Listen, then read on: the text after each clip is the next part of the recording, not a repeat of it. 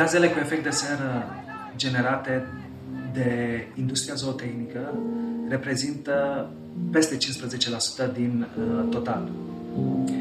Practic, doar industria zootehnică generează mai multe gaze cu efect de seră decât toate tipurile de transport reunite.